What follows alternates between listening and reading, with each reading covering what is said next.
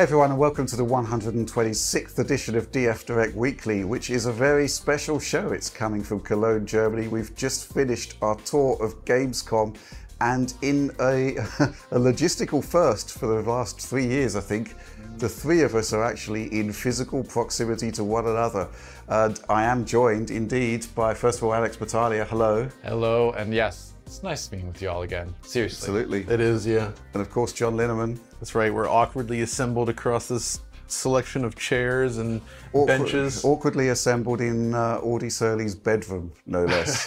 This is true. yes, very, very bizarre. But uh, yeah, let's crack on with the first news topic. Okay, so let's start at the very beginning. Um, when we got to Gamescom, our first order of business was to visit the Microsoft stand. We were ushered in to uh, the Starfield presentation where we saw the first, I don't know, maybe 20, 30 minutes of the game in a kind of condensed format. Directly after that, we spoke to Phil Spencer and Todd Howard. But let's talk Starfield first.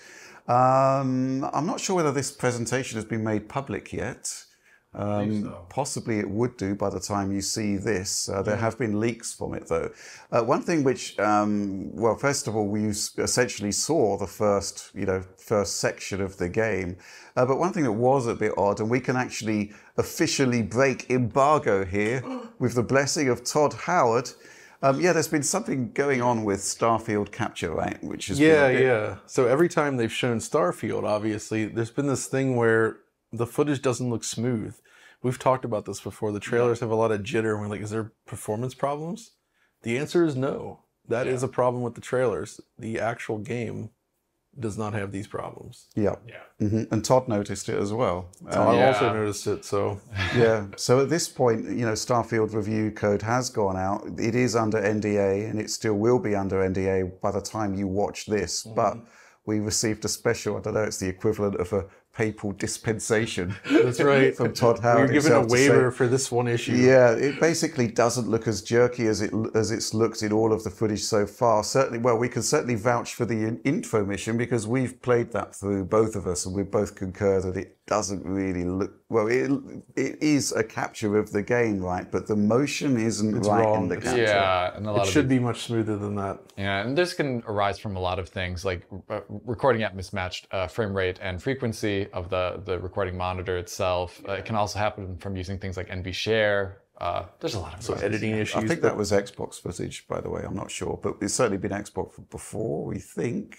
possibly. Hard to tell. It was really DRS. the one thing that was very high fidelity though. Like I was, I hadn't seen the It beginning. really I hadn't good. seen the beginning of the game yet in any capacity, and I was, uh, and I also got some DMs after the fact from people who had also seen it, other journalists, and they were saying that looked quite a bit better than the footage I'd seen before of Starfield. The beginning of the game definitely has a lot of really great material and uh, geometric quality there that you definitely did not see in anything like Skyrim or Fallout 4. It's quite another level. That is quite true. hmm Yeah, it looks really impressive. Some really nice lighting, really high density uh, stuff going on there, and um, yeah, uh, the characters are interesting. That's kind of like the the weaker element I think we've discussed in the past.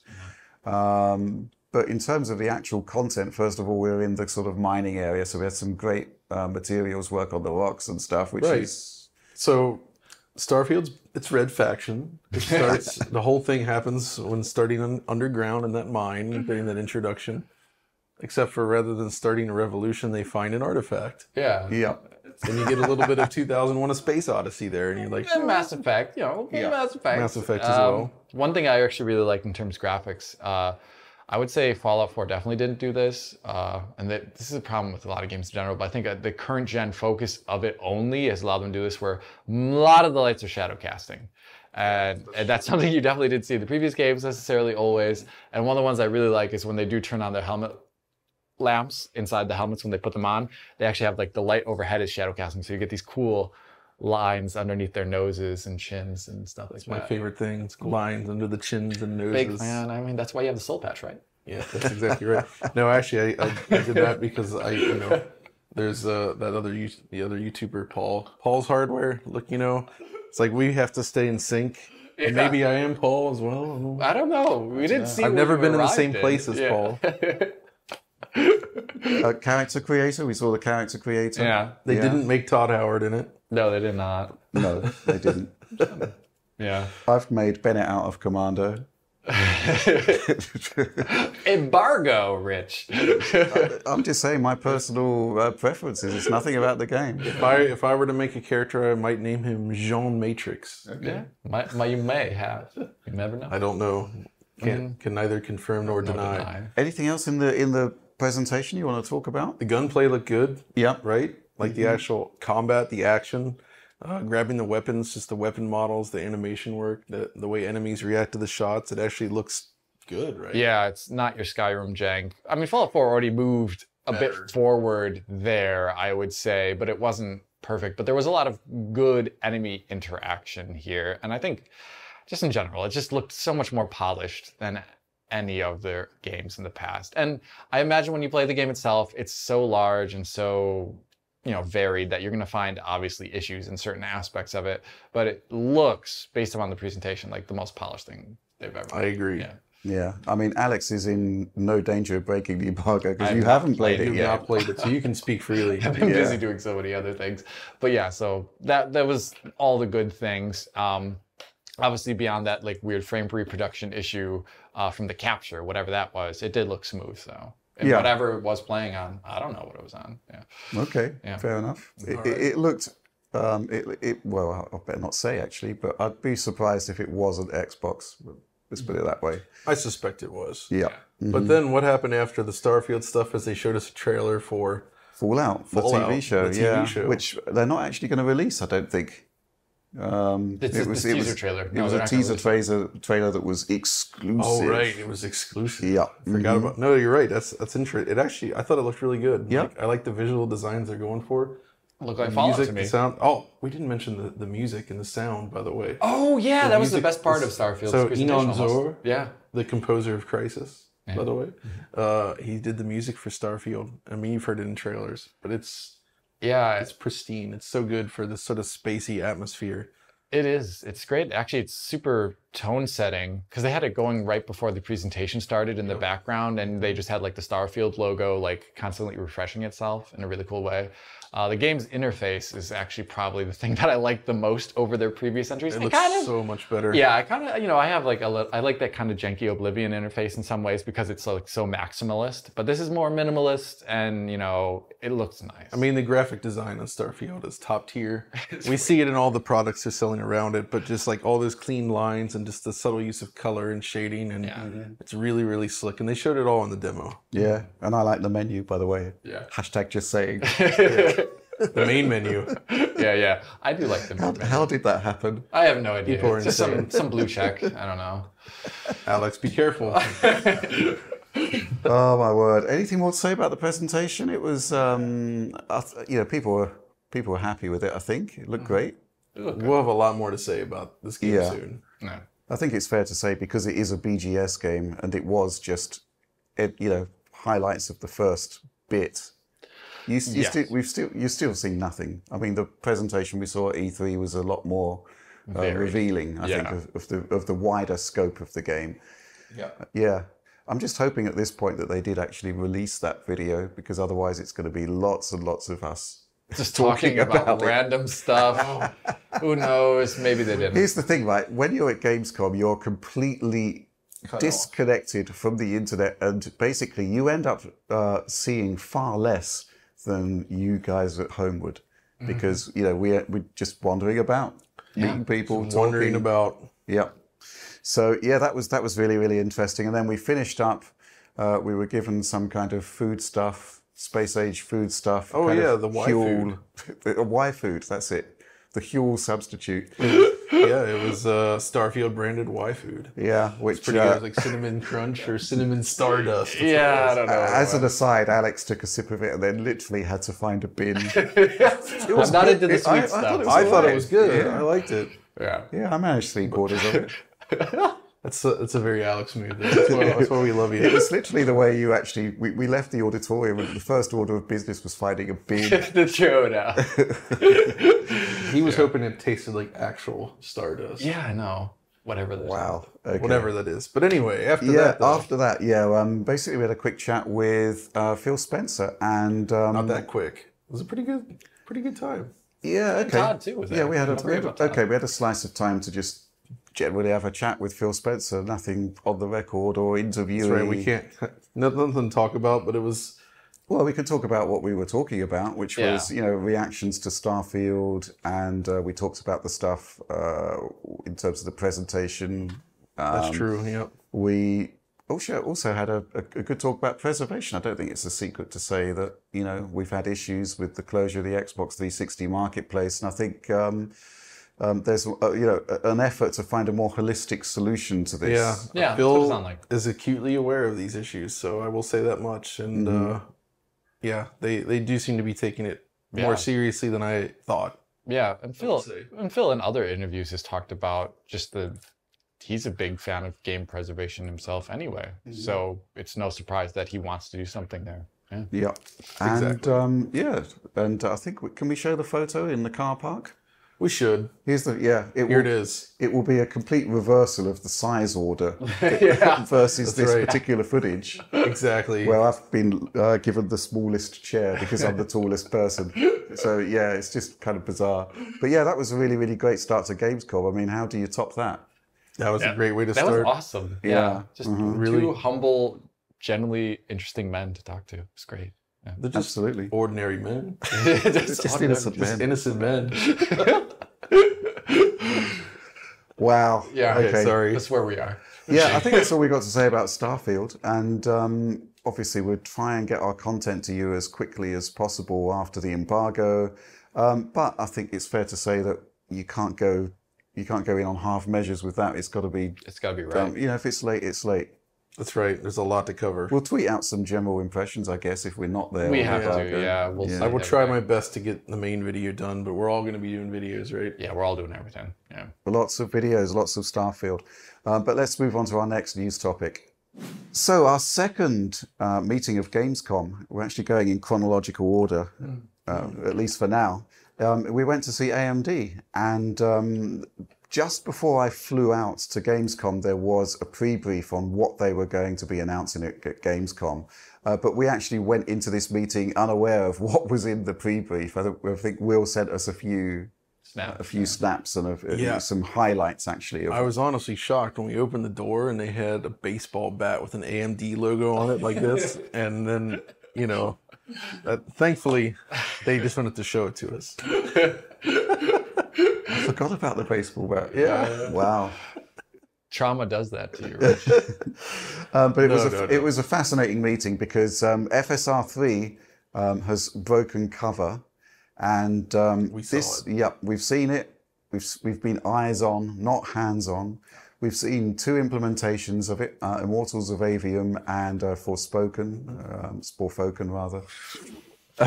The classic. The classic, Star yeah. And um, uh, well, first impressions are actually extremely impressive to the point. Well, you know, it was a it was a curated series of demos. We weren't allowed to go um, hands on, so you know, we couldn't test get a feel for it. Right, we couldn't really feel for latency and stuff. And there are a few things that you know we asked them to show us that they didn't want to show us, um, which was um, you know uh, perhaps understandable, but even so, the general perception of FSR3, I would say, is based on this demo and with a lack of head to head comparisons.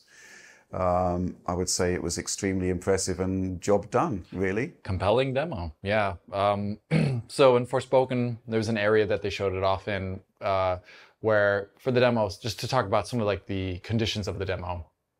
Uh, in Forspoken, it was uh, done with VSync on the panel on, uh, and with the game being frame limited to an output post everything 120 FPS Yeah. and that gave a very fluid impression to say the least. It looked really good. We saw the game without it on. Uh, we saw also the game with uh, with it on as well as with the new i think we can talk about it fsr2 aa mode essentially. Yes. Yeah, that's right. the essentially their uh, answer to what DLAA is and what has it become, what and did it's they call that? God, it's they like had FSR native, Yeah, FSR something like FSR that. native, which Native is, AA. native AA Yeah. or something like that. Yeah. which is essentially FSR2 running at native resolution, similar to the way DLAA DLAA works. Yeah. So it's pure anti-aliasing, temporal supersampling there. Mm-hmm. And um, we first saw it, of course, in Red Dead Redemption on um, PlayStation 4, Yes. um, which kind of they, They were kind of like, uh, they, you know, yeah, was was that meant to happen? no. Well, t- you could have always technically done in the past with their SDK, even, but it's just not like it's like how you could have done it with DLSS as well, but it wasn't Right. recommended. No, no, no, because it wasn't really designed for that. Yeah, it wasn't designed This- around this it is. necessarily, and this was, and so that looked good itself too. But that's obviously, once again, this is like a we were behind the screen. We're not like looking up there, just staring at pixels, but we know what it kind of looks like in Red Dead. Uh, but to get back to FSR three, we saw it in that demo running at a clipped 120 FPS with VSync on, and they were they were. And we talked to Nick Thibieroz about this, and he was very adamant about it. Once his personal preferences for using VSync in general, but it agree with. also seems like they want to focus it around essentially the usage of VSync for frame pacing issue for frame pacing. That's the way he kind of said it to us. Like I want to have VSync on here to have the frames be paced. Okay, that's interesting. Yeah. I mean, there was a little um, meter in the top right-hand corner which was showing um, VSync, right? It was showing VSync, full Yeah. VSync. Uh, and then we saw it in a more. We can we can talk about the quality there in a second. But we also saw it in Mortals of Aveum, where there it was shown in a different manner, where the game was running at a, a like I think it was FSR two quality mode originally. What was shown off in. And then that turned on, and that wasn't due to the, there's differences obviously between the games. Forspoken on the rig they had it on was like a 7900 XTX with probably a 7800 X3D, right? Like, I think that was the case. Yes. yeah, yeah, Yeah. And so in Forspoken, no issues of hitting that 120 FPS line. But in Immortals of Aveum, due to the game being so CPU limited, there was different scaling that was shown off. Big time, yep. And so it wasn't like a full 120. And this is where the like the one part of the demo that I was a little confused by, and we, this is why we need hands-on about it, where they were showing it with VSync on, but the monitors they were showing it on are, I, we asked about it, they were 144 hertz uh, FreeSync monitors, but it didn't look like FreeSync was doing the normal FreeSync thing of smoothing out frames uh, in their delivery and not delivering them within the v- vertical Yeah. sync window. But it wasn't like it didn't look like it was adjusting refresh rate. No, it basically looked like it was uh, with the VSync enabled on a non-VRR panel. That's what it so you looked get like the sort me. of like judder. You, And so- you, yeah, you were asking for strafing motions. yeah. yeah, yeah, yeah, yeah. But there was a, but Immortals is tough, and I, I think it was a mix of things. But there was also like the geometry caused the viewport to sort of jiggle a little bit in spots. But we also got evidence where we could look at it without that issue, Mm-hmm. and you could see there was some frame time inconsistencies that were a little bit odd. But Yeah, but it's really hard to know what was what that We don't- was. But Quali- if you know if you quality the, wise, if you use the default DLSS three too, like and you, without without VSync like Yeah, it is by default, it doesn't look great either. So yeah, it remains to be seen how the stuff actually pans out once we get it into our own hands, right? yeah. Quality wise, I don't think there are any complaints based on the presentation we saw. It looked good. And um, we actually got some insights into how they're doing it because obviously NVIDIA is using the optical flow analyzer. It's a hardware solution. Right. Um, what they seem to be doing, correct me if I'm wrong, Alex, is um, for AMD, they're basically uh, making it into an async task, Mm-hmm. Putting it on the shader. async pipeline, and then basically the amount of time taken to um, uh, to process the optical flow is dependent on how uh, much the game is using async compute. Yeah, it's variable per frame. Uh, they showed it on a 7900 XTX. It has extra processing time, you know, over FSR2 because FSR2 is the upscale. If you want to use it, uh, you don't have to use it.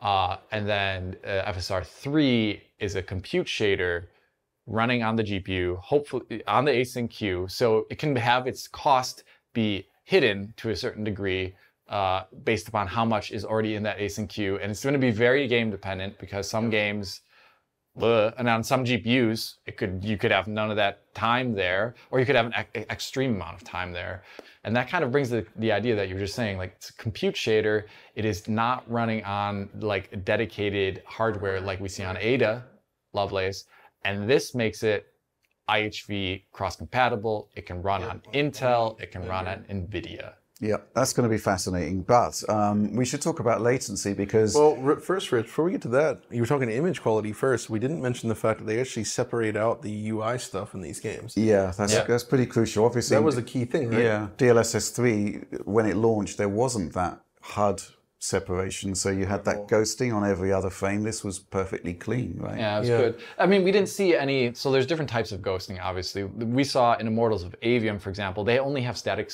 uh, screen elements. You know what I mean? Like they're like they're tasked to like one part of the screen. We didn't see like um, a like a an objective marker that moves with the 3D camera, and that's that's something we didn't see, and that's like another thing. But uh, yeah. you can maybe talk about some of the modes. Like he described three different types of modes, if you recall. off Oh, the I top of can't your remember all the details. There was Yeah, well, there was a mode that just updated every other frame. Yes. Right. Yes, and it blanked the HUD, so you'd get like a 60 hertz strobe of the HUD. Right, so the HUD, so if you were getting 120 Yes.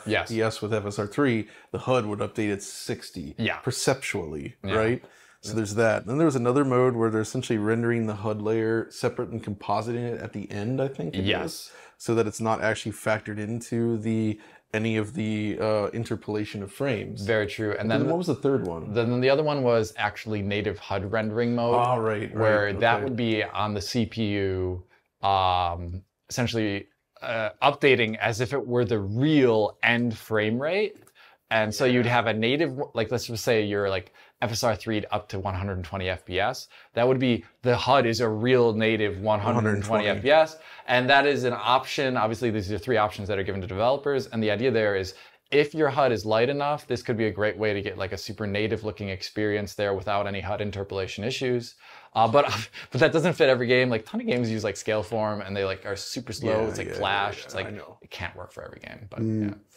Yeah, I mean, the thing that they didn't talk about much was la- uh, latency mitigation um, because um, that's going to be done, I suspect, at the driver level or with an SDK component, which they're calling Anti-Lag Plus, which they didn't want to talk about. Yeah, Um, we didn't talk talk about about, it it with us. So yeah, basically the price, I guess, of it being cross-vendor, it will work on any GPU, right? It will work on consoles. Actually, we'll talk about that shortly. yeah. That's key. Um, is that um, yeah? Basically, if it's not within the AMD ecosystem, or I, I don't know how it's going to work with with Reflex if the game is Reflex supported but doesn't. You can turn on reflex no matter what Yeah. in any game. So I don't know. So yeah, they weren't talking about that, and um, but that you know, I assume on the Intel side of things, there would be no uh, latency mitigation because they, yeah.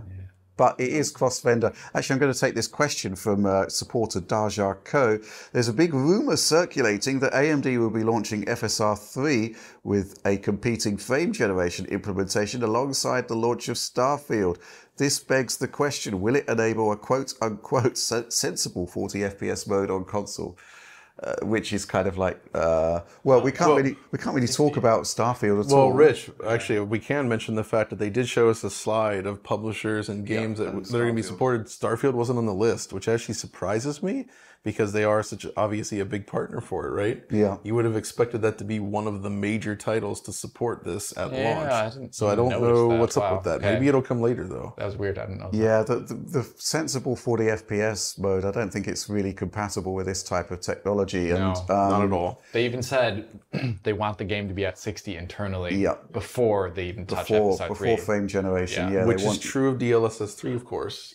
To a Not, not entirely, but Depends on the content. I mean, uh, well, talking with Nvidia themselves, they were actually were not saying that. They were saying They they, were saying say inter- that, they were but- saying internally like we're fine if the game is 80 FPS with DLSS 3, and they were they were confident of the quality there. Mm-hmm. Um, that was a different thing, and I like we've talked about this before in our other videos, but it's very game quality, uh, game content dependent, like how effective an up conversion from 30 to 60 is, or 40 to Right, 80, right. et cetera. So okay. yeah, but consoles, it can run on consoles. That's right. We just asked them point blank, and they're like, "Yep, it's designed to work on RDNA one up, I believe." Yeah, and but this is the thing. So that time that they mentioned of the milliseconds per frame that it will cost over even with async, it could you know on a 7900 XTX, it could be like I think it was like 1.7 or something like that. He said Sure. it was some number. it was a number that was like around a two-ish. There was a cost, and it's on. It was there was a cost that was that was a 7900 XTX. It's a big GPU. So bringing that down, they even Nick said to us, Nick Thibieroz, he's like, yeah, you can run this on a console, but at some point in time, it is maybe not actually a super beneficial thing Well, for experience. For the player Maybe, but I think lighter games that are perhaps able to get to 60 fairly easily, but couldn't hit 120, for instance, this would be a good way to get that 120 FPS experience on a console. Yeah, If it well- was light enough where Yeah, the yeah. it's it's hard to know because like if it's like almost two ms on like a 7900 XTX, it could be like four ms on like a sure. PS5, and that's like half of your frame time already at 120. it's yeah, like it's I don't actually know how how doable that is honestly. We'll Yeah. just see. We'll have to see, obviously, but I'm I'm I'm a little skeptical about that at the first part now because like when we always talked about like Nintendo Switch 2 and DLSS 3, I was always like frame time's really important. We can't just say it runs there, you know. So just I'm just managing expectations. I'm sure there will be people were going to be using it just as they used FSR2. They were talking also about the inputs for um, FSR3 being the opt, you know, the optical flow and the motion vectors uh, from FSR2. Um, it looks as though they've got some good support lined up there on the titles, and all do. um, yeah, I, Not I'm- Starfield though. yeah, Yeah. who knows about that?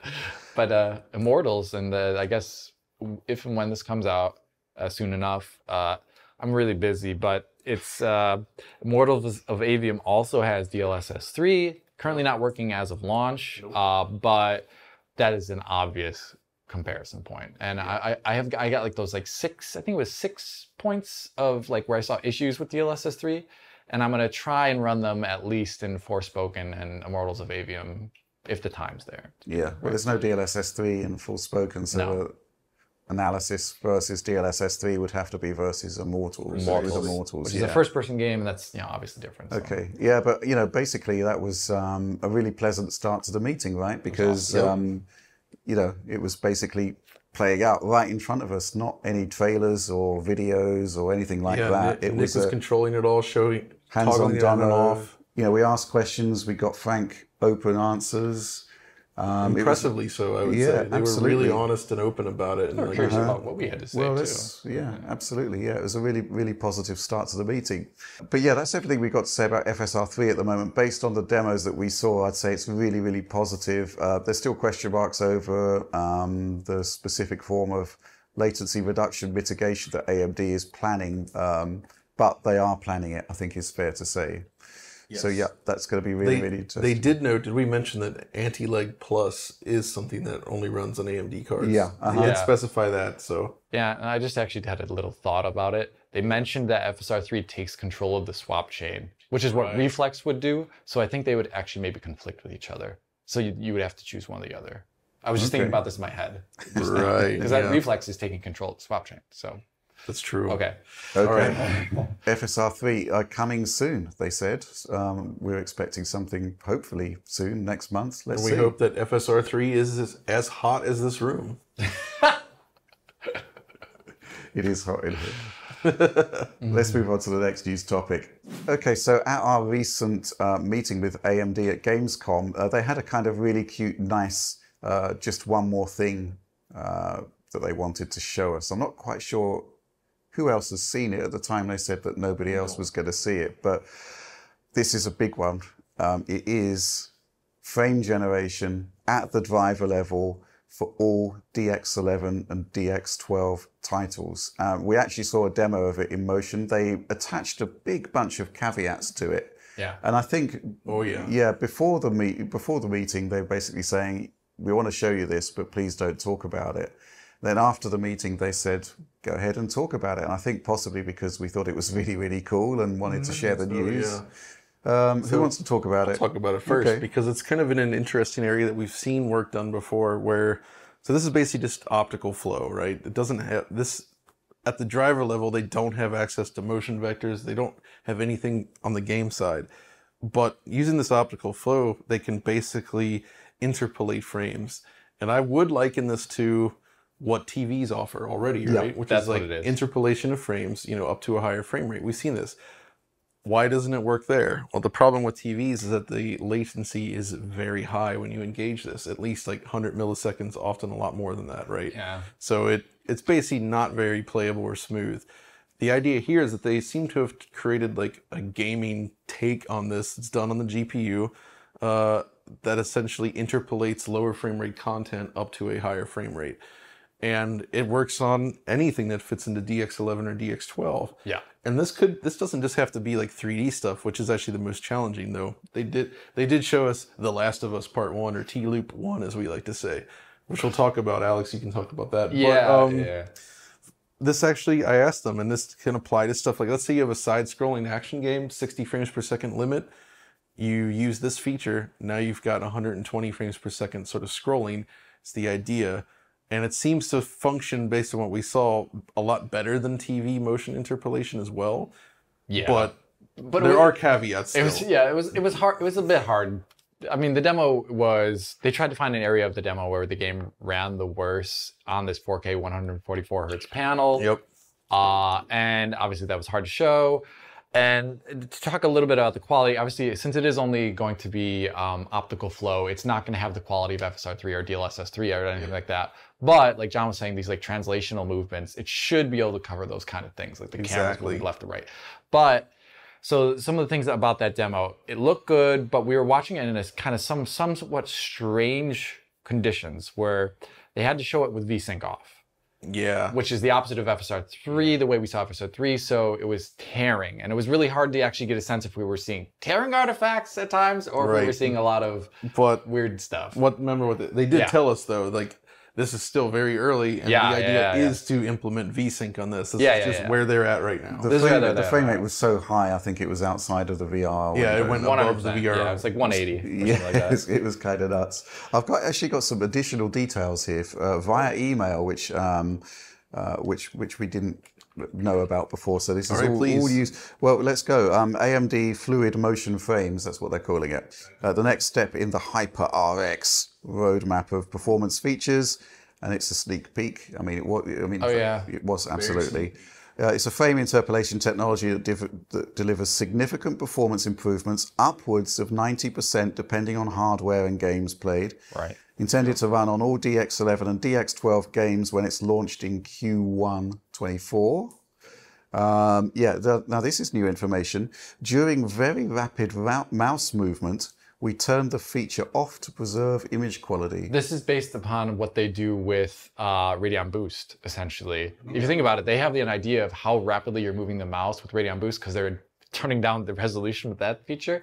But with this one, because they think it'll probably show off, you're going to see if you move the mouse more with uh, optical flow, way more disocclusion. Uh, I showed this in uh, Spider-Man in my original DLSS 3 You don't want disocclusion, where you go like in front of like a like a chain link fence or some sort of thing like that. You just see a lot of disocclusion there, and it's caused most issues. So I think that's why they would do that. But that's that's awesome information to have. Yeah, absolutely. Um, at 4K, our baseline uh, FPS recommendation is 70 FPS, higher than the 60 recommended for FSR3. This is the perfect number to hit a steady 120 plus FPS to make the best use of a 120 or 144 hertz panel.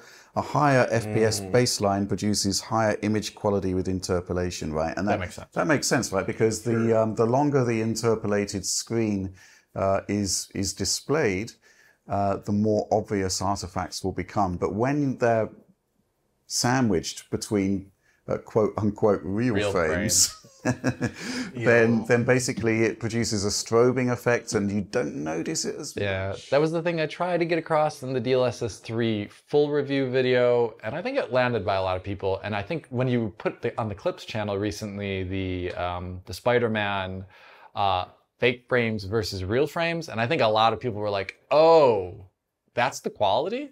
Like Yeah. they get it now. I think they DLSS 3 it, it arrived in a state where it had some issues, and they've been a lot of them have been ironed out, and uh, now I think there's like a gaming, there's like mindset among gamers about the utility of it and what it can be and do. And I think FSR3 is going to scratch that exact same itch based upon the demo we saw. So yeah, So this was really cool, right? And it was totally unexpected. Driver level frame interpolation. It's going to have its limitations. It's not going to work great on every game or every gaming scenario. But the point is, they did it. They went ahead and did it. They're going to they're going to put that out there. And I just think the concept of putting it out there as a kind of um, you know, use use at your own risk if you like. But it- it- That's there's great. No, there's no That's good. risk as such. It's just you know Optional. quality. Like try it if you want. If you don't like it, don't use it. But the fact that you can use it and find use cases for it, that's very that's promising. And we already thought of use cases. We thought about games like Dark Souls 3 that are locked to 60 FPS under the assumption that it works under every like I don't know how exactly those Yeah. games work at 60 like in terms of like do they We'll lock see. your refresh rate at 60? I don't recall off the top of my head. But there's like way there's like definitely things you can think about where this is useful even if you don't like it has use. It's not just like to be comparable to DLSS 3 or FSR 3 in this. It's like it's utility. This is there. really cool, right? I Yeah. mean, this is the Cool, kind of yeah. thing that we've been talking about on DF Direct, which is, you know, let's let's see something that Nvidia isn't doing, Mm-hmm. and this is it, right? I mean, uh, this also puts pressure on Nvidia to actually produce their own version, which again will have utility, right? And Mm-hmm, that one, I guess, will be hardware accelerated with, with potentially Yeah, presumably with using the optical flow analyzer. So Yeah. this is what competition is about in terms of features, and um, this was not playing catch up. This is taking the lead, which I think is exactly the, the kind of What thing we wanna AMD see should from be AMD. doing. Exactly right. Yeah. So good on them. That's Yeah, cool. so that was really, really impressive. But it was VSync off, which um, produced tearing artifacts because we it was running at such a high frame rate. It, yeah, it was. It, it instantly jumped. What was it like a seventy something without it, or It was like 80 without 70, it. And 80? I was like, yeah, it was like 183. Yeah. It's like whoa. Yeah, it's it's nuts, and I can't wait to see it. And also kind of curious to see how it's going to run on the APUs. ROG Ally might be interesting. It's got 120 hertz screen. They did mention to us that they're kind of targeting it, at least that's what they're thinking of saying. I think it was like targeting it for lower end to get you into those cool high frame rate experiences that you might otherwise not get on your hardware. Potential artifacts would be less noticeable on a smaller screen too. Yeah, 100%. Yeah, so like the ROG Ally is an interesting, or the, I guess the Steam Deck would Steam be an Deck, interesting case too. Yeah. Yeah, so that that was actually a really cool part of the presentation, and we sort of left the, the meeting with AMD saying, "Yeah, we're not going to announce it for a while yet, so please keep it under your hat." And we're thinking, "Ah, that's a sh- that's a shame, That's a right?" shame. That's a good thing. And then you know, I had a message about uh, within the hour, I think, saying, "Hey, you're free to talk about it," and yeah, this was fantastic. Yeah, Really I like interested it. to see how it's all going to play out. They're doing good stuff. Let's move on to the next news topic. Okay, so we've just come out of this meeting and it was absolutely fascinating. Um, obviously, the announcements went out a few days ago, but NVIDIA has revealed DLSS 3.5 um, with ray reconstruction. yeah. And um, Construction. yeah, this is an interesting one because you kind of see need to see it in action. You need to see the videos um, to appreciate what it's doing. But it is essentially AI-driven denoising, but it's not. You know, it's not. When you when you think denoising, you think denoising, removing of noise from Yeah. an image. But what we're actually seeing here is something which takes DLSS uh, path tracing games uh, probably going to gain the most, but you know, basically, image quality is taken to the next level. Yeah, it's it's all and about visual quality too, not Yeah. just the image quality. It's not just yeah, it's Yeah. not just edges or something like that. It's literally like the lighting now looks more complete. The reflections now look more complete. The shadows now uh, attenuate correctly. They're not over blurred or under blurred. And oh my god, it did. It was all right. So it was actually really impressive. Yeah. um, because if you've played a game like a path trace game or even a ray trace game before, let me give you an example of Control. And I talked about it couple times in the Control videos I've done, where if you use DLSS in that game and you have ray trace, like this, let's say reflections on, uh, you can notice when you turn on DLSS, like the quality of ray trace reflections goes down. They look lower res than the rest of the image. And then, of course, oops, I'm knocking over stuff here.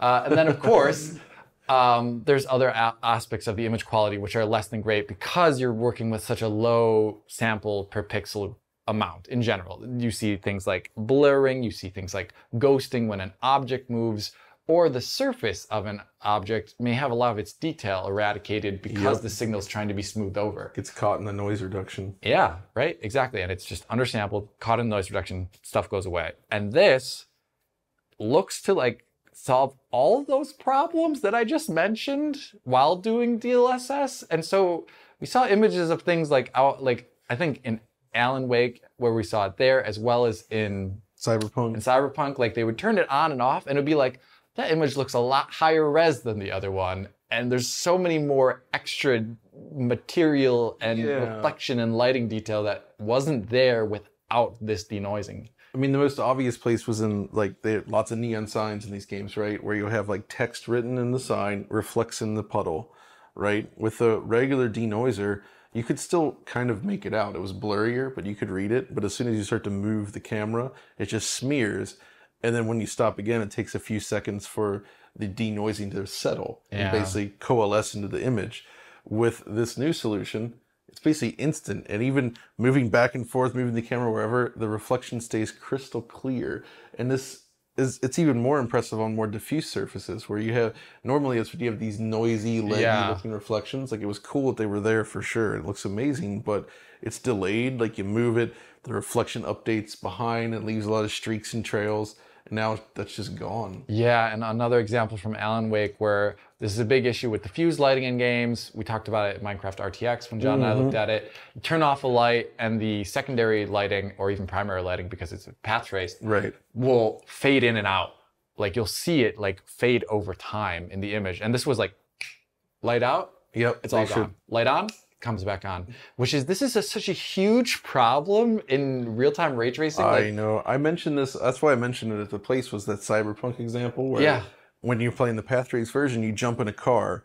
You know, you're outside, bright and sunny. Hop in the car. It's dark in the dashboard. You almost see these like spots. It makes it look like a horror game almost. Like it's actually weird looking. I don't like it, but it actually takes at least five seconds or more before it starts to settle. But now, like, we didn't see that exact example, but that's what the Alan Wake thing that actually Yeah. is the same type of thing where the light's on, then it's off, and you just get instant uh, image Yeah, without instant. any of those like fading artifacts. Yeah, so this this actually has a lot of uh, ramifications, uh, and something like when these tech this tech comes out, I'm going to probably cover it in Alan Wake and in Cyberpunk to some degree. But there's a lot of interesting ramifications here because it is it's replacing in a, in a game with a lot of ray tracing effects. It could be replacing upwards of four denoisers. Like there's ones that are handling shadows, there's ones that are happening diffuse, one specular, there could be a different one for sun shadows and things like that. There's a lot of things that it could be replacing, and and it's doing them all. Like the one, the, the denoiser we were seeing it against was against NRD, which is the like top tier NVIDIA denoiser that's used in a lot of games, and it's like state of the art.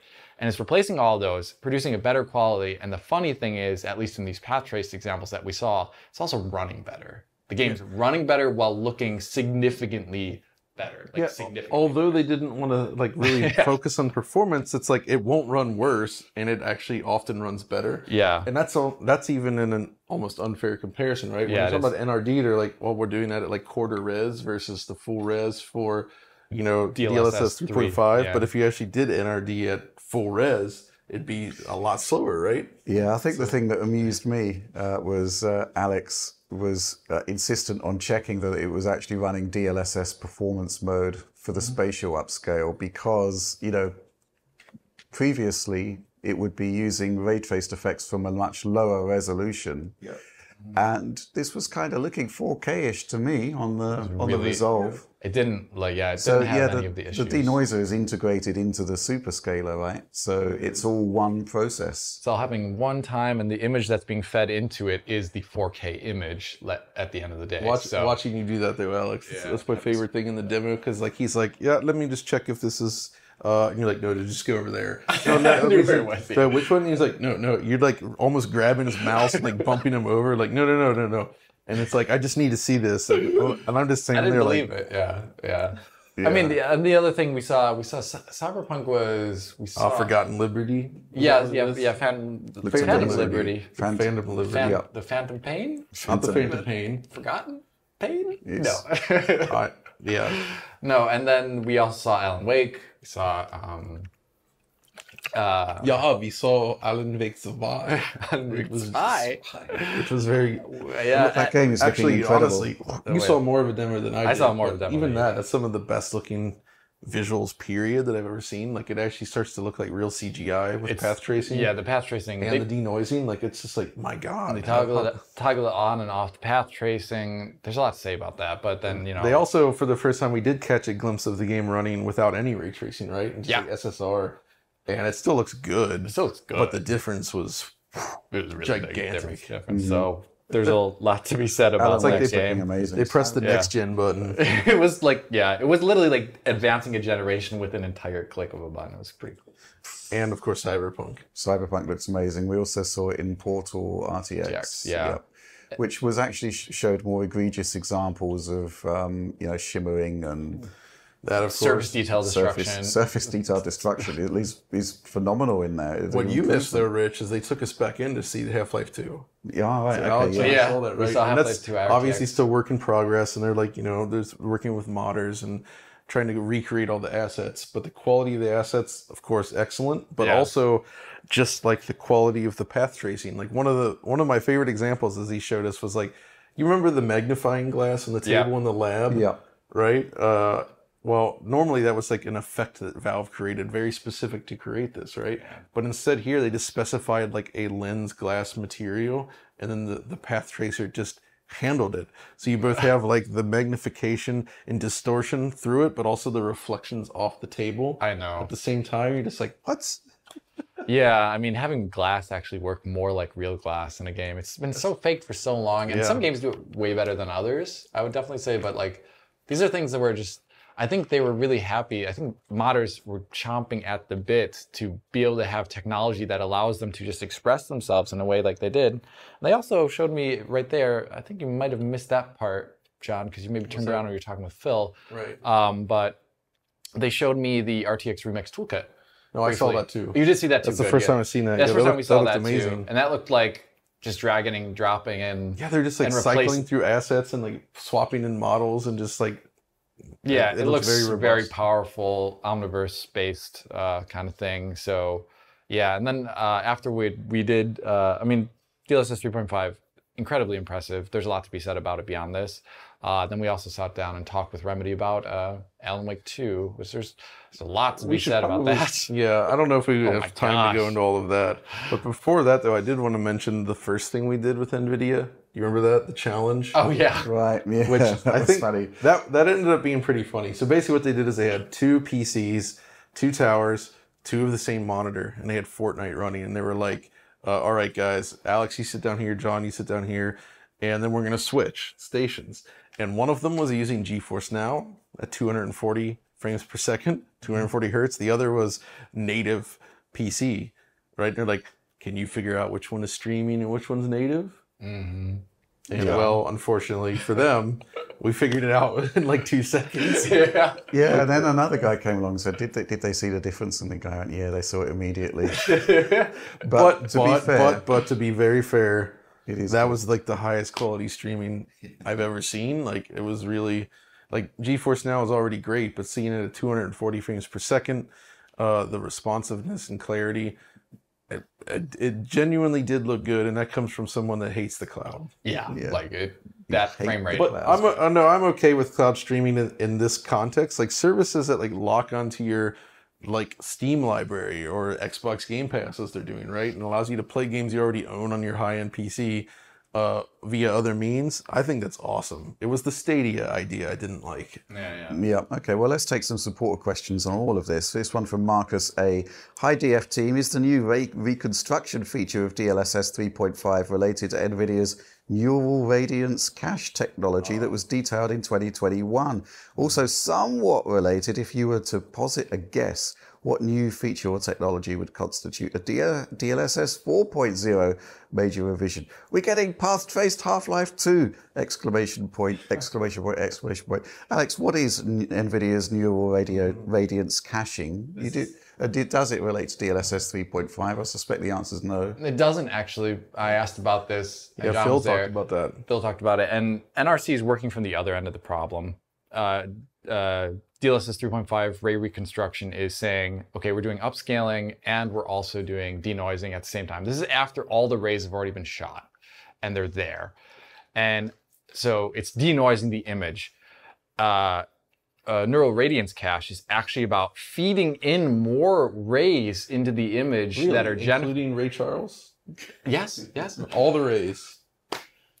I don't know if you would see this, but but either way, so it's about feeding more rays into the image before denoising even occurs, so you have less issues, so you have less denoising that is required to have like a more cohesive image. And the rays generated in there are like a feedback loop with the renderer uh, that says like actually we're reconstructing the paths of this year, which would otherwise uh, be either too performance intensive or they wouldn't produce cohesive images. So it's like feeding in right. extra rays that are AI driven, but they're based on real data from the feedback loop there. And that actually has another interesting aspect where NRC could potentially also reduce the amount of rays required to do more complex effects because it's Right, generating them much like DLSS is. And you'd have, at that point, you'd have at the end of the equation, post processing, doing things with AI, and even the image generation itself would be AI at that point. So it'd be like, they can be combined in some, some some sort of way in the future, I imagine. But right now, there was no discussion about what products would be using neural radiance. Where do cache. they go next for DLSS?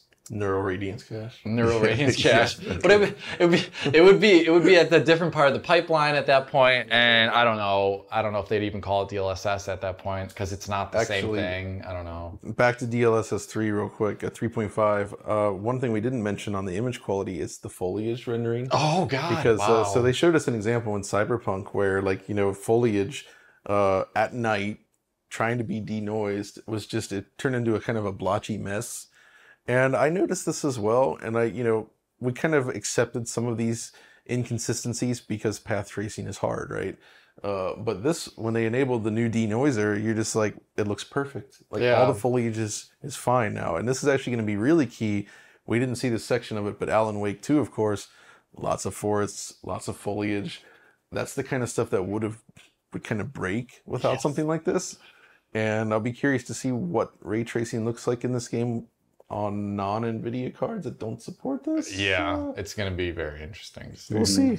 Yeah, so it's interesting that you know FSR3 really does uh, make a huge stride in catching up with the latest NVIDIA inve- innova- innovation, but this DLSS denoising is well. Just look at the videos; it's it's, it's really impressive. Uh, final support question from um, Martin Putters. Martin Peters. Uh, an NVIDIA video description revealed that Alan Wake 2 will launch with full path tracing support. Uh, path tracing support was only done so far on games running on in-house tech, Red, en- Red Engine, Quake 2, Northlight, and RTX Remix. Are the out of the out of the box Unreal Engine 4 slash 5 RT implementations maybe just not optimized to CPU limited maybe enough enough to allow for full path tracing currently? Well, you, before you guys chime in, Unreal Engine has got a path tracer, right? And um, you know, for Nvidia to make this take off, for Nvidia to make this become the next level and an established standard, it's got to be supported by Unreal Engine Five, surely. Yeah, and they, Engine food. Yeah, they they have so that they've got their internal uh, path tracer in Unreal, but it doesn't have like um, it's not like tuned right now at the moment to be like real time so much so. Uh, and Nvidia on the side offers an RTX DI branch of UE5 where primary lighting is done through RTX DI, uh, and then obviously nanite geometry is rasterized, yeah, yeah. etc. And then Lumen's doing the indirect lighting, as far as I understand. So that is similar to what you see in things like um, in uh, well, it's not it's not the exact same actually. So it is similar. You get qualities that are similar to it, but I don't. I actually don't know what's going to be going on with UE5 because it feels like that would be a natural evolution of where they're going there to like make that path tracing real time, perhaps with the help of NVIDIA, because NVIDIA is the one doing it on PC, and that's where you would use path tracing anyway. Um, but at the moment, it's hard to say. I, I would love for it to be that way, but right now it seems to be about custom engines. We'll see. Yeah, yeah. Um, I mean, UE5's path tracer is probably more for the offline side. Yeah, things, right? absolutely. Which they Yeah. do a lot of these days, so that makes sense to be there. But it's Yeah. not really designed for real time gaming.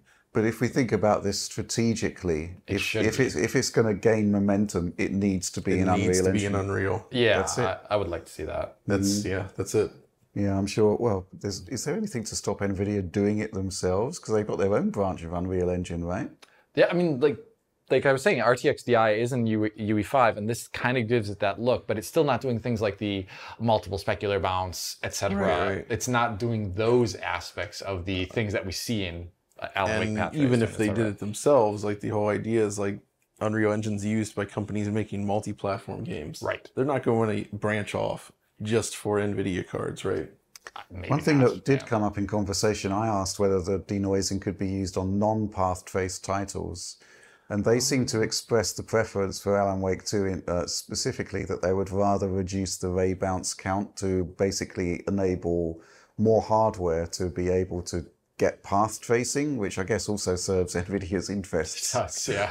But um, the bottom line is that we've seen that scalability with the with the mod for Cyberpunk 2077, which we showed in the 4060 review. 4060 doing path trace Cyberpunk, and that is kind of like a democratization of that technology that we kind of need to see because it can't be a 40 90 40 80 only style solution it's got No. to scale and ray bounce count seems to be the way to um, scale it, yeah, quite keep it, effectively Yeah, and or Goes as low as like one. yeah, one. I mean, there's obviously issues that can occur with that, but I'm Yeah, also yeah. very curious to see. We only saw like DLSS performance mode, but what about like performance mode on like a 3060, or what about ultra performance mode in a mm. PT game? Like this new denoiser had really dramatic impacts on image quality. And a, Actually, come to think of it, they did say that the denoiser works on older cards, right? And Yeah, and Turing the to Ampere and path tracing is so heavy that it kind of requires frame gen. So, right, yeah, So, so, yeah, you, you could get great 30 FPS now with just better image quality. So yeah. maybe that's I guess about. that's what they're talking about. Yeah, interesting Alright. stuff. That was another great demo. Mm-hmm. Heck yeah. Let's move on to the next news topic. Okay, so um, Sony didn't have any particular presence at uh, Gamescom that we were aware of, but they did grace us with an announcement. Uh, the Project Q handheld now has a name. It's called the PlayStation Portal. The PlayStation Portable Yeah. uh, Portal. Portal. Yeah. yeah. That's gonna happen. Forget that. Yeah. Well, yeah, exactly. And uh, we now have details. There's also been a handheld, um, sorry, a hands on report from IGN. And um, well, I got to say, I'm kind of baffled by some of the uh, the decisions that have been made here. It is basically um, a machine that enables you to stream from your uh, PlayStation 5. Um, the best results will obviously be on a local network, right? Uh, but you can uh, basically use any network. You can access your PlayStation 5 from anywhere. You can also um, turn on and off the machine, uh, which is which is pretty cool, I guess. But it is remote play only. So previously we've been talking about perhaps um, PlayStation Classics being playable locally on the machine. Uh, we've been talking about possibly the PlayStation 5 cloud system working on there, and it doesn't. Um, and yeah, and also something which is really bizarre: no Bluetooth audio support. They've got their own new place PlayStation solution, which means you need to buy a new headset. So the, the pricing looks reasonable at $199. Reasonable, Headset. not not completely unreasonable. The then answer to all your desires is nine. no. No, I mean, um, wow. They made the Wii U again, but mm-hmm. like a little U, bit better. Wii U it can- gamepad. It's the Wii U gamepad, but now you can access it on other networks, I guess. Yeah. I mean, I, The headset. I okay. I, I should. I feel like I should refrain from giving my impressions on the quality until I see it myself. But the concept doesn't sound that interesting. It's really gonna. It feels like the use case is Wii U, where Yes. it's like somebody else wants to watch TV and you want to keep playing your PS5. So rather than you know engaging with the other person in the room, Yeah. like, well, I'm going to take my PS5 and go in the corner Yeah, or the toilet. or the toilet. there is the toilet play scenario that must be considered. Um, yeah. Audie might have one right now there. Oh my word. so we do have some other details from the PlayStation blog, and I guess the most pertinent one is that um, bandwidth is basically the requirement is between five to fifteen megabits, which isn't exactly massive quality. It's 1080p screen, 1080p 15 ah. megabits. So I guess we should do the the Pepsi challenge and compare the video quality to the Wii U gamepad because the Wii U gamepad is a great experience, but they had their own protocol for that, right? Yeah. Yeah. And it was very effective. Can mm-hmm. this match the Wii U gamepad? Yeah, I mean, you know, the, the hands-on report from IGN was was pretty positive. You can actually see the machine being used. They were talking about no noticeable latency, but uh, that's not what the stream was telling me. Not what the screen was telling me. You know, it No. looked, definitely looked a little bit laggy. It looked like classic remote play, basically. Yeah. Which I think is what it is fundamentally. And I'm a bit surprised that they're shipping with so few features. No support for PlayStation 5 Cloud um, is is I guess it's not a massive deal because it's only available on the upper tier, but you'd think it would be a, a good feature to have to actually be fully decoupled from your PlayStation 5 to to, to stream the games Yeah. from a properly you know set up cloud solution. So I guess you know jury's out until we actually go hands on with it to see how it operates. Um, but I was kind of hoping for more. I think we all were really. Yeah. Okay. That's all we've really got to say about that one. So, um, yeah, let's move on to the next news topic. Next news topic. Um, we've started to see previews for the Metal Gear Solid collection um, arriving for the current consoles That's right. and PCs. Um, hopes were never high for this one, or I guess hopes were high, but the um, the the kind of expectations were low. First Yeah. previews are in, and um, mm, meh. Uh, So okay, yeah, it's immediately started coming out that oh, the game is 720p on every platform. The game is 30 frames per second on the Switch, which is to me unacceptable given that especially Metal Gear Solid 2, that's a 60 FPS game on PS2. It should not be, you know, even the Vita version, which is 30, the interiors are 60. Yeah, right. So it's like halfway there. And that was a bummer when that version released. So the fact that we're back here again and the Switch version is that is is bad. So we actually saw the direct feed capture. I got the, the MP4s of the capture from the Switch version in docked mode. Menus 1080p 60.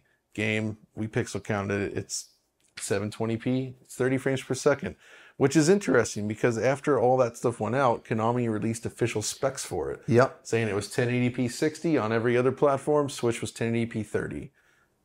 That's That's not true. That's not true. And it's not like a case of like upscaling here either. Like there's no reconstruction, there's nothing like that. It's just straight 720p.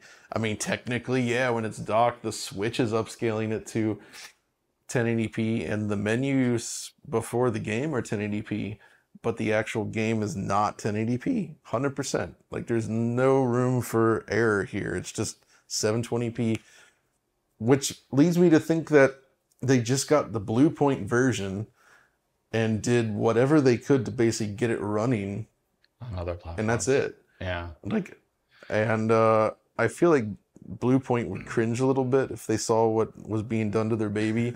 you know, what have you done to my boy, kind of thing. It's uh, it's it's not good. Okay, so we got a comment here from Konami about Metal Gear Solid, the original game. Uh, this one's from Video Games Chronicle. Uh, it seems to be actually their hands-on preview. Their writer said it arrives virtually unchanged, as this is an emulated version of the 1998 game, lacking widescreen display or up-resing, which may come as a disappointment for players hoping to play MGS1 on their 4K TVs. That was a, that was always going to be a tricky one, right? Short of doing a full remake. So, well, one. no, th- there's some, there are solutions to this, and they took none of them. so, Okay. first of all, if you if you're gonna not touch the graphics at all, they should offer a clean nearest neighbor upscale to the output resolution, so you get nice sharp pixels. They didn't do that. You could have also gone a little bit further and taking more of a DuckStation like emulation approach where you clean up the wobbling vertices by you know implementing that PGXP style solution to fix the the precision issues in PlayStation. So you get perspective correction. Uh, they could have downsampled from a higher resolution to 320 by 240 and made it look better. There's a lot of different options they could have taken, but what they've done instead is just it looks like they're just running a PS1 emulator with the blurriest, nastiest upscale you can imagine, slapping a couple wallpaper borders on it, and they're calling it a day Wallpaper borders. and it looks terrible. Like it's it's a bad looking experience to me. Like the footage doesn't look pleasant. and I don't understand why they've taken this approach. Like, who looked at that part of the project? Well, that's a surprisingly measured response. I was expecting a table flipping scenario. Small Borderline. little table. eh? I mean, it's, you know, it's a small table. It's not worth it.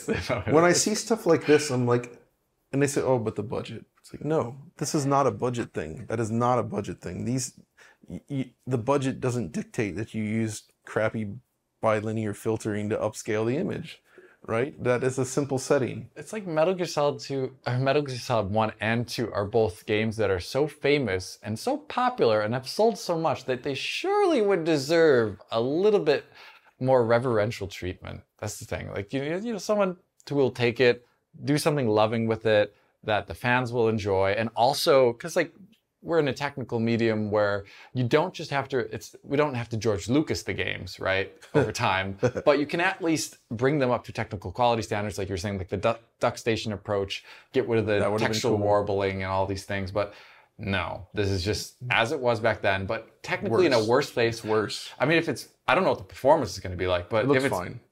If it's emulated you'll technically have like more greater input latency than a ps1 version right Tech probably, Yeah, but, but, you know, not, it's like- that's not a big thing. that's- It's, it's- just just the way they're presenting the image is the worst possible solution, and it's not doing it justice. yeah It's not a good way to play it, from what I've seen. And the- Well, The only version that I could argue might be okay is Metal Gear Solid 3 on Switch, I guess, in terms of like that was also a 30 FPS game originally with slowdown but it was um, 60. 60. on the Xbox 360, right? and the PS triple. Yep. And, um, you know, I'm suspecting these are probably just basic 360 ports. And now I haven't actually seen direct capture footage of the other versions of this game yet, so I haven't done pixel counts to say if they're 720p. But Right. we will do that. yeah But I have a feeling they're probably Well, even 1080p is an insult to the performance newer of, of even the Series S, right? You know, And it's clearly not a performance thing. Whatever Right. it is yeah okay. Well, you know, I guess expectations are now even lower for I this mean, one. they put up the statement, so maybe the launch version will fix it. If they actually hit 1080p, then we can say they did exactly what they promised in So the they specs.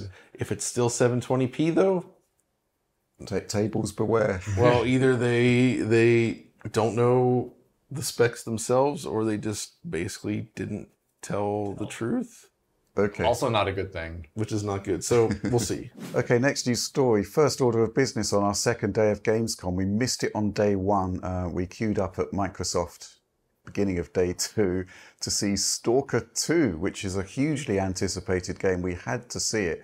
And uh, so did many other people because um, as soon as the, uh, the show opened, uh, people were literally. Stampede. It was a stampede for the Stalker. I felt like it was setting us up for what Stalker's about, this harsh reality and like Right. survival, because like it's literally like being at like the starting line of a of a race where like as soon as the bell goes off, Yeah. everybody starts walking, but then they start walking a little faster, and then they're jogging, and then it's a full run, and we all did it, Yeah. and everybody's going right for the Stalker two line, and thankfully we got place number like twelve and thirteen or something. Yeah, but let's remember we were placed number one. originally as it started yes.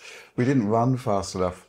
No. We, di- we didn't clamor enough. No, I, I was like, wait a minute, they're going for it, and then I started to speed up. But we did we did get in on the first session, and um, yeah, it's interesting because the game has been announced to ship Q1 2024, and I think based on what we saw, um, there's a lot of promise there, but it's it's still a lot of work to do. So I'm curious how they're going to pull this off. Yeah, so we walked in. They were running on PCs, so we did not see any sort of Xbox version. It was a PC build uh, running with VSync off uh, on these 4K screens. Uh, it looked good at first glance, and there was a lot of good to say. So it's a mixed it's a mixed bag on that. And this is a tricky one to talk about because these guys, more than like any other developer we know of, is they've been through some tough stuff, right? They are Ukrainian developers, so they're dealing with that. They're doing their best here, but I still think they've crafted something that gen- it looks genuinely beautiful, like the landscapes and everything. It's Unreal Engine Five. They seem to be using Lumen GI and uh, reflections. hmm They seem to be using nanite as well. Shadows slightly less clear if it's VSM or not, and uh, based on some of the What issues I saw. saw. So we'll we'll need to double check on that. But that meant that no LOD pop in basically. So you have all these structures in the distance. they're perfectly stable no matter the distance you are from them, but they don't seem to be using the um, nanite for foliage, Yeah. which was not active. So foliage LOD drawing was pretty noticeable. There was also this weird like heat haze effect on all trees. It wasn't really a heat haze, but it made the tree, the bark look like it was like warbling in a weird way that I couldn't understand what it was. You saw it, right? Absolutely, yeah. And um, I mean, it's really tough. I mean, we probably shouldn't be critiquing a game that's clearly unfinished. And Phil was mentioning, Phil Spencer was mentioning that they were working on builds. Morning of. Yeah, Yeah. literally, uh, you know, same day. So So yeah, that that you know performance and stuff. Nothing to say on that because you know very early, unfinished. early days. But I, know, I will comment though on the um, the acting and character performances, and I'm very curious what's going on there because uh, when you talk to characters in this build, they basically don't have facial expressions. You just have like this very blank face with eyes staring off somewhere else, and very unusual voice acting. I would say. Yeah. And it just all the characters you interacted with, it, it just felt like placeholder stuff. Maybe it was actually, Probably could be. but it was really odd to see. something I noticed is that typically games these days have um, a certain aesthetic that are a factor of um, TAA being built into the engine. This looked like super crisp. It was super pristine, and yeah, we were playing on 4K monitors, but they're small. I think Yeah, they're like that might have. Fairly small monitors. Yeah. Although I can't tell what's small anymore since I use such a large screen on my PC. They may have been like 27, which people would consider Bigger. big enough, but it felt tiny, but it was super sharp. I liked that side of it. Um, I also was impressed with what I saw of the AI. Uh, so there was a scene where an enemy just sort of saw was like roaming in the woods there, and I fired off a shot at him, and he actually it almost appeared like he got startled, and then very quickly scrambled to cover. And then he starts peeking around this like building trying to shoot at me, and then I go after him, and he actually ran further away and it was this interesting chase where he wasn't just like a, a roving bot and it felt kind of convincing and i thought there was some potential there Yeah. It wasn't like the Call of Duty interaction where they kind of beeline for you, just shooting at you, is what you're saying essentially. yeah exactly so that part was good the gun handling it still needs work but it has potential it feels a lot better than stalker 1 i would say um, and you know again lumen gi being used it's very it was actually very reminiscent of what 4a games did with metro exodus Yeah. enhanced edition where you know so we're seeing like lumen versus their bespoke Solution. solution. and in that sense i would say at this point based on that demo metro exodus does look visually better but i do think stalker still has a has a nice look to it and a lot of potential there and the atmosphere is really excellent i would say Yeah. I, I sadly couldn't be there. I was meeting with someone else from um, from Neon Giant Games, which I can talk about briefly as well later. But I would have loved to have seen Stalker 2, but uh, yeah, it does sound like it was a little bit rough around the edges for all the expected reasons you could imagine given the circumstances. Yeah, yeah, Uh, yeah. But the heart and the the, ga- the design was there, right? it seems like there's a really good game in the making there and uh, we'll obviously keep an eye on that Absolutely. But tell us about Neon Giant Games because we haven't got it on the docket. Yeah, so this one is uh, basically they worked on The Ascent, which John covered Oh, back in the day, uh, covering the Xbox the ascent The yeah. Ascent, Oliver did the last gen version. last gen version, yeah, and that was a game that it's made by like it's like a 20 person team, and that was really impressive from a technical, visual, uh, artistic angle. And they don't have like graphics. They didn't have back then. They didn't have a graphics programmer, so it was all tech art tricks and getting the most out of Unreal Engine 4 at that point in time. And uh, I can only say so much about their new title, uh, but basically untitled at the moment. Um, I did see it. It looked really, really good.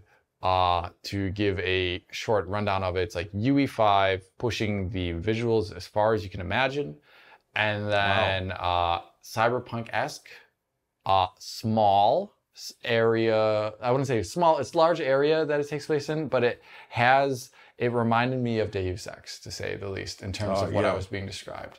So that appeals to me greatly as a person who likes Deus Ex and all those type of games. so it's an immersive sim Uh, reluctant to maybe use that word, but Deus Ex was definitely what it brought up in my mind based Alright. on the description of the gameplay uh, and the interactivity level and the granular detail of all the AI and all that things going on. So Sounds cool. awesome looking game. I have no idea when it's coming out. I have no idea when it's going to be shown, but I could, I was, I asked like, can I say something about it? Like, yeah, of course.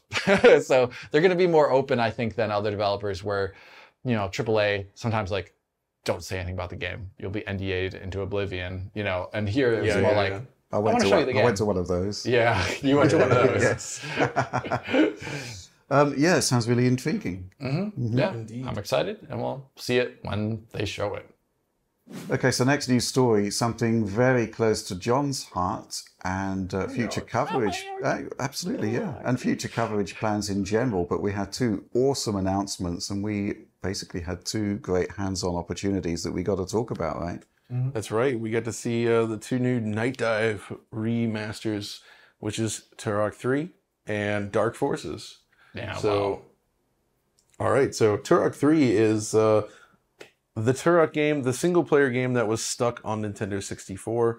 It was heavily influenced by Half Life, but it has a lot of its own ideas. I did a Let's Play with it not so long ago with Audie, actually. And it's a really cool game, but it was locked on N64.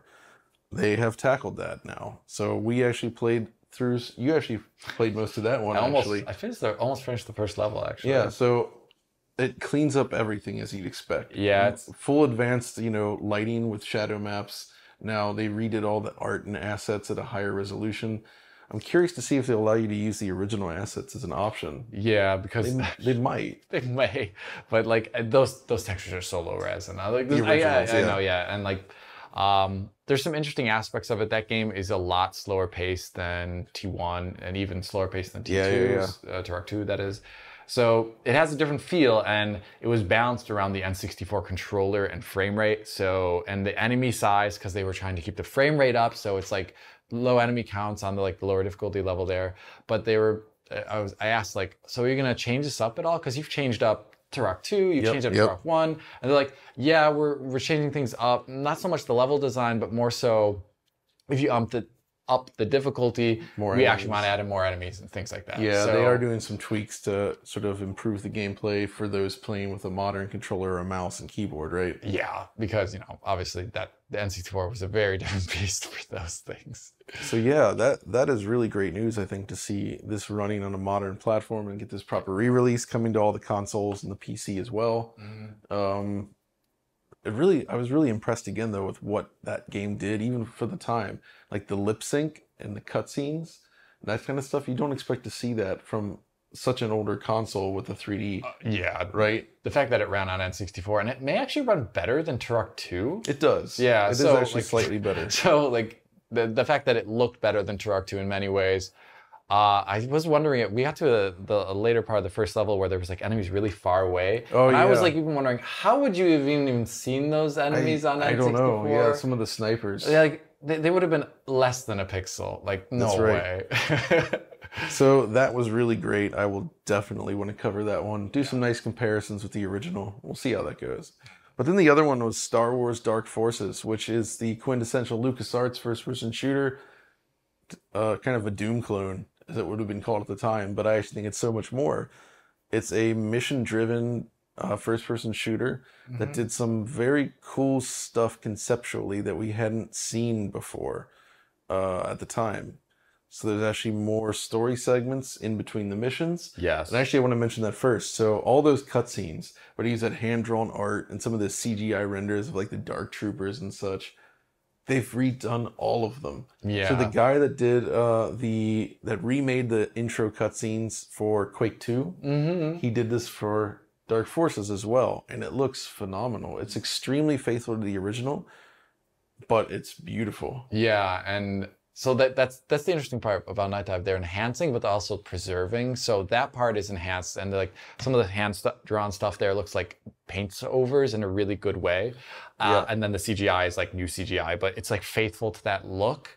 Exactly. And uh, but then when you get in the game and like some of the pre-game uh, like l- l- difficulty levels switching and all these things, that is like we're trying to keep the look of that original game. And I think you can talk about that too, like because that game is a software rendered game originally back in the day, and I don't think it has corrective the 3D perspective, correct 3D perspective. It does. in its in its software mode. It Yeah, does when you look up and down. I couldn't. Oh remember. no, no, not that. No. It Oh, yeah. have that, and didn't it didn't have that here either. Yeah, it didn't have that here either. So like they were maintaining that in that software mode. And Yeah, that was, that was- interesting. That was interesting as well, but it ha- it does have a hardware accelerated mode now as an option, uh, so you get the full frame rate that you'd expect. They actually added some neat visual touches, like sort of glow.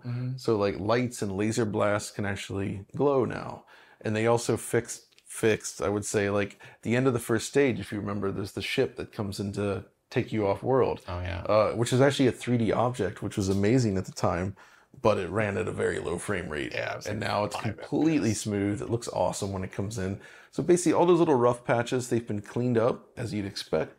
Higher resolution, some new visual options that you can toggle on and off depending on you want, and things like uh, for the soundtrack, for instance, you can have the sort of general MIDI style with the Mm-hmm. with the you know sort of the synth wavetable sound. I think it's like a R- It Roland. did. You, SC55 it sounded Rolandy, like you said. right? But then you also have the option to use the OPL3 FM synth soundtrack if you prefer, which is how a lot of people played it back in the day. For sure. So you get that option as well. Uh, so there's just a ton of stuff like that. It's also widescreen now, of course, which is great. that's a big difference. And you know, that's a game. Uh, the reason why it's big, good. Like unlike Quake, Quake Two, you can technically run on a mod. You can actually run GL Quake Two like on a modern PC Sure, if you can. really wanted. There's lots of source ports anyway. And there's a lot of source ports for that game. But for a game like this, this is really stuck on DOS. I felt like there was one attempt at some point to like, Dark. Yeah, what was that called? but it never. Oh yeah. It never really. This is a game that never really got any great source ports that I remember. There's there was one that was like kind of un- Like left Dark unfinished. XL or something. Yeah, it was left unfinished, and then there's been people. There's also community efforts that have been coming up in the most recent years, like aside from Nightdive, that are, doing something similar. I think right now, but Nightdive bring it out in a, a viable form. It's not just PC here. yeah, Like, consoles as well. like that's a big deal. Like it'll be on all the consoles that you can think of, most likely. We didn't ask specific ones, but it's going to probably be on all of them, much Yeah, like the yeah. other Nightdive releases are. And yeah, it's about preserving that incredible legacy of a game there. And Dark Forces is incredible. Yeah, I recommend everyone play it. FPS, really good FPS. There's a quick supporter question I actually think is quite important that we should tackle here, and it comes again from Martin Peters. Uh, Atari took over Nightdive Studios in May this year, but with the recent announcements, uh, Star Wars Dark Forces, Turok 3, and recently released Quake 2, what do you think Atari's intent is with Nightdive? Do you think these are just projects Nightdive already signed on to long before the takeover, so had to finish them, and that Atari has plans afterwards to make Nightdive focus on Atari IPs? Or do you think Atari will keep allowing Nightdive to make rem- to, to make remasters of games from other publishers and developers? This is quite interesting because the tone of the question is set by the by the, the perception of the old Atari, right? Yeah, yeah, and, yeah. and basically the reset button was pressed, and the first product we had from the new Atari was basically Atari 50, right? Which was awesome. right. So it's it's kind of I get where the, the question is coming from here, but it's it's not the Atari you possibly think it is. Yeah, the guys that took over, from what we understand, it's like uh, they're actually like serious. They love this stuff, right? They're in it because they like the games. It's not just about being the corporate overlord. They actually want to bring this stuff back. They Atari 50 was an example of that, Yes. and they, you know, they they really value what Nightdive does, and they want to, them to be able to continue to do that. And the way they kind of described it is like, you know, Nightdive does all of this stuff, but then they still have to worry about all the things like like legal and HR and handle, you know, helping negotiate this stuff. Like having that sort of backing of now a larger company that's sort of rebuilding from the ground up. That helps them focus more on just making this stuff. Making I'd imagine. Yeah. Also, like you said, procu- procuring IP is another aspect of it. Exactly. And I think, like you just said in the beginning, Atari, based on everything that we just experienced while we were in that meeting and elsewhere, like it's about people that the people we talk to is like actually they care about these old games and they, yeah, sure they have their own IP, but they're also really keen on making sure Nightdive's making the games they want to make. Exactly. So, So, yeah. we'll see how it plays out, but it certainly sounds like uh, things will continue to be quite just As as we know them. they- So if not better. good news. So, not better, yeah. yeah. Absolutely. Right, let's move on to support Q&A. This is the part of the show where uh, every week we appeal for questions on our Patreon page. We get a big bunch of excellent questions. We're running over time, so we're not going to be able to do as many as we'd usually like, but I'm actually going to roll the first two into one. Uh, the first one from Jonas Tagizade, in brackets, Tagan, Tagan86. Um, yes, he says... Uh, what are the benefits for DF to have staff members going to Gamescom in person? Is it about creating dev connections? This one from Concrete Llama. What does a day in the life of DF at, a, at an event like Gamescom actually look like? Do you divide and conquer um, and have to abide by a strict itinerary? uh, throughout the days, or do you get some freeform time just to check out things that pique your interest? I'm guessing that there's a lot. There's also a lot more to Gamescom for you guys that, uh, other than just what's presented on the show floor. Well, that bit's true. I mean, you know, there's been some pretty big rumors flying around behind the scenes. Uh, stuff that's happening, um, which which I guess people will learn about in due course, assuming it's true. But um, well, what are the benefits for going? Well, I've already said that if you don't go, you see more. Yeah, online you're going to see u- way more. undoubtedly true. Um, but first of all, from my perspective, it was about basically just um, visiting John and Alex again because it doesn't happen very often in Yeah, the yeah, yeah. post-pandemic world, and um, basically uh, also Audie's had a big bunch of rubbish that he'd sent to my house that needed I needed shot of it basically. CDI power brick, come on. Um, and That's a uh, classic. What are you yeah. talking about? So you know, yeah, I literally spent hundreds of pounds for, for that um, to to get a flight out here. just to drop off Yeah. the digital detritus. Di- yeah, absolutely, yeah. Um, but it is about um, networking to a certain extent, and you know, seeing people sure. and going hands-on with stuff, which is hugely valuable. Also asking questions, right? Because you know, this is something which I think E3, the lack of E3 this year um, definitely showed. I mean, there's been some pretty good uh, Phil Spencer interviews that have gone up on sites like Eurogamer, which you know, really interesting stuff there. You know, these questions don't get asked unless you're actually physically at the events, right? exactly. Yeah. Anything you want to add? I mean, yeah, it's just about making those contacts, meeting people, but uh, he, you know, wondering about the day in a life of this kind of thing. We basically have a schedule we plan out before the show, but we try to leave enough space between things so that we can see other stuff, or also uh, it allows for, you know, Overrun. time to yeah Overlap. overrun, Yeah. which It's a bit happened a lot actually. Yeah, you can get pretty tired just by walking around and But yeah, you're just talking all day. walking around from hall to hall. Uh, But we're mostly in the business area here because that's where you know those kind of like meetings are set up. The public area is scary on on the public day. 'cause Yeah. It's, yeah, it's it's a little bit crowded to say the least. Yeah, and and then in the day of life of to an aspect of this, other than seeing you guys and other than getting the connections and uh, forging connections with developers beyond the fact, because like you'll use those later, you'll be you'll be talking to them later as the games Right. are coming out and all these things. Um, but you also have essentially the aspect where you get to see people that you otherwise wouldn't see, not just beyond you. Like people walk up to us and say, "Hey, DF, I've watched your videos. Let's talk Wow, about that, them." that was a revelation, wasn't it? Because previously um, we don't really get stopped at events, but we had like we were stopped like literally every five or ten minutes. Yeah, I mean, we I, used to was- get I that was at, in the toilet and got approached, which is good. so. Can I take? A, can I take a picture? Yeah, but outside, right? I was washing my hands at the time. By the way, it wasn't. It wasn't mid flow. Th- thankfully. yeah, that's Gotta get a picture.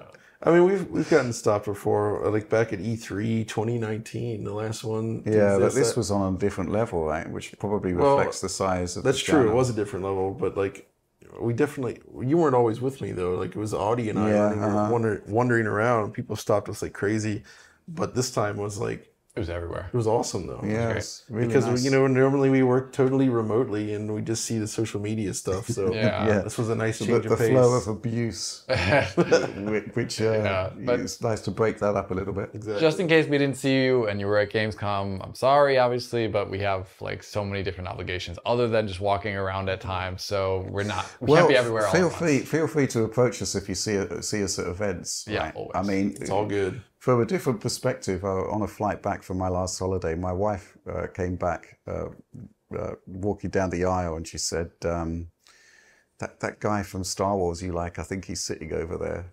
And I said, um, the guy from Star Wars. And I had to sort of work it out. I said, Patrick Stewart. She said, yeah. Guy from Star Wars. Gandalf. I basically reverse engineered the psychology that would produce that statement, and uh, I was. This was quite difficult for me because at the time we were sort of mid-season three Picard, and all we'd had was like some promising episodes, then two series of complete dirge, and it was like, do I, how, how can I look Patrick Stewart in the face And after all that, af- after being so let down? But yeah, basically, uh, I did actually uh, do a scouting mission, but it wasn't Patrick Stewart. It was just some bald guy. Hold on, hold on. Aren't you DF? You're digital Yeah. family, right? Yeah, what's your name? Audie. I'm Wow. a big fan of yours. Wow, look at this. Whoa! What? You're like the glasses guy on Yeah, YouTube. exactly. Yeah, yeah, So you're the guy that has this hotel room? yeah. Uh, this is actually my room. Why are you here? All What- of you. Oh, Can you oh take a seat? Yeah, sure. Why on not? Because um, Pull- just pull up a seat. logistically, you're blocking the camera. Oh yeah. That's the There point. we go. we, we would kick you out, but come on. Let's get you in here. Um, Can I, can I, get a appreciate- selfie with you? Yeah, yeah, go ahead. Let's, let's do it. Wow, look at Wow, that. Wow, look at that. How about that? Imagine if Rich was here. Yeah. Also I be know, in the wait, he's- picture. Well, you're not mic'd up, but I'm guessing the audio will be fine. Yeah, That'd be good. Yeah, we'll be Just fine. get really Lean, close to lean Alex. into my chest. Yeah.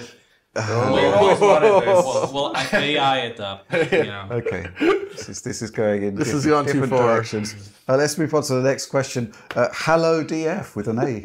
Uh, could XeSS on current gen consoles be possible and also preferable over FSR2? To me, Oh. even the DP4A path looks superior to FSR2 just by virtue of being more temporally stable. Audie, what do you think? I think you know. I think that's possible. Everything is possible when you do it like this. It's To answer the question myself, um, I would say uh, it's, it's, They, they need, they need the source code, right? yeah, they, yeah, and, Yeah. Um, That's what I was gonna say. yeah, yeah, yeah. Th- th- those things also performance-wise, uh, I don't think it would work on PS5 based upon what we saw with 5700 XT and 5700 X, 5700. 'cause Possibly, it- yeah. Because that doesn't have DP4A support. Uh, I don't think it's very uh, viable for many reasons, in spite of the quality advantage. Just no. Okay, fair enough. Uh, let's let's round this off. All right. this question from uh, Selwyn Niples. Hi there! Exclamation point! And welcome to this question, which still is and always will be a weekly question to discuss gaming and technology news. well, first of all, we must address the DF lingo bingo elephant in the room. Basically, there is a caveat to these particular happy colon days, right, John? Yes. In in the here and now, it might not come to pass. I mean, yeah, wow, a viable product it is not! Exclamation point. this is not great. Your thoughts, Alex? Uh, did you flip some desks? we, we've got to talk about the origin of the desk flipping thing at some point. oh my god. Um, fundamentally, the sheer amount of cloud compilation is simply unacceptable for the co- consumer. At the same time, it is absolutely fascinating to a degree. to a degree. To a degree. A very small degree uh, from John's perspective. yes. Is this Chat GPT? What is this? Is So, sounds like Chat GPT. Well, you know, Chat G- uh, GPT, you know, if we could hook it up to the Arnold Schwarzenegger soundboard, have it as a desk on DF Direct, Right. a, a guest on DF Direct Weekly, it'd be awesome. With Yeah, like, just yeah. like a next time. Yeah. It's Any, anything to add to that? I mean, surely you must have caveats, John. I have plenty of caveats. Yeah. But let me just adjust my glasses first. Yeah. Um. That that's uh. Yeah. That hits. So we here at DF, Alex, Weird. Uh, yeah, I do say these things. I also say a lot of broken English things like as well too. as well too. I also say hand meets foot. What did I say? foot, Hand meets foot. classic, That's a yeah, classic. Hand meets foot. I'm- I'm very good at this. People never saw that T-shirt. yeah. so there's a lot of those for me too. I actually don't forget what I say otherwise. I don't know. Sometimes we need to point them out. Sometimes it's only really visible in in, in the script when Oh, I read yeah. your scripts, which you know somehow they work yeah. when you talk, but when I read them, it's total nonsense. This is, yeah, I'm very good at like piecing together. But it's because the, it goes with the the, hand gestures, though, I think are Yeah. Absolutely top notch. top notch. Yeah. mhm. Yeah. Anything to add to that, Audie? well, I'm pretty known for talking into Alex's chest. So. Right. Okay. Wow. Yeah. That's Well, don't- sinister. It's a, it's a shame we don't have your box of detritus here because Yeah, could Rich- We could have gone through it. Yeah. I Yeah. mean, various dubious DVDs. Uh, and CDs, and uh, yes, the um, I didn't. Uh, well, I took it out of the box, but the CD-i power brick. Oh, you brought it? Yeah, here. Wow, It it's is worth here. a lot of money, Rich. really? a lot of money. Forty pounds. Wow. That's its weight. That's its weight. Yeah. It was literally it was literally on a box that had my name on it, and then in brackets for Audie. Oh yeah, I get a, oh, I get a lot of those. You those. miss that, don't you? When that comes through your mailbox, you miss that a little bit. yeah, Yeah. my dog doesn't. yeah, mailman, He takes great exception to anything that comes through the letterbox, but your stuff in particular. Mm. Yeah. Oh man, Good Gamescom. Good Gamescom. My my first time meeting all of you. You the had same a, time. so Yeah, here's yeah. the thing, My right? first time Um, meeting you. First time meeting me, yeah. Yeah. so lo- lots of people uh, wanting to meet you. Uh, actually, you know, I have another day job. This is no secret anymore. Yeah. Uh, I am sort of part of DF on the Patreon and such, but I got recognized much more for DF than anything else. That's incredible, man. Yeah. So I no longer have to hide the fact that I did that porno. Are you talking about RoboCop 3? yeah. oh Plumbers oh, no. don't wear ties. Oh, Yeah. did that go? Did he talk about that on the episode? well, it was number Oh, one news Actually, story. I gotta t- I gotta say the best thing about plumbers don't wear ties is the, Oh, yeah. is the video options, the screen mode. Can Can I share this? You World cannot exclusive? share this yet. No, Okay. this is too good of a joke. Yeah. All It's right. too good of a joke. I won't No share it then. I Oh, it's real. time developing- I spent three years Thi- developing this game. This Alex. alone makes just get it. Just get it. me. Yeah, you'll enjoy But it. Rich had a one-word review for Plumbers Don't Wear Ties Definitive Edition, directed by me. yeah, it's just wow. All, o- all other. It's going Wow. on. It's going on the box. Yeah, Just just on the Wow. back. the Richard intonation. Ledbetter. wow. Well, you know, after last week's, you know, being name checked for being in the credits for Panzer Dragoon Saga, there's only the only way is up with with with, with that particular That is credit. true. On the box. Amazing. Well, that's it. That's the end of this week's show. Uh, please do like, subscribe, share if by any chance you enjoyed it. Ring the bell for notionally instant notifications. Random Gaming in HD. We've got to talk about that again. Any more content Oh, yeah. that's I haven't, haven't had time to watch random gaming in That's a HD. Fair point. Because Fair we've point. been here. Yeah. Yeah. There's a construction site out there, but we are across from the Messe. Uh, DF Supporter Program. Join us for an amazing community environment. Uh, bonus material, early access to this very show, the ability to contribute, it's amazing stuff. But that's all from all of us at Cologne this week. Mm-hmm. Oh, Thanks for watching. Now get out of my room.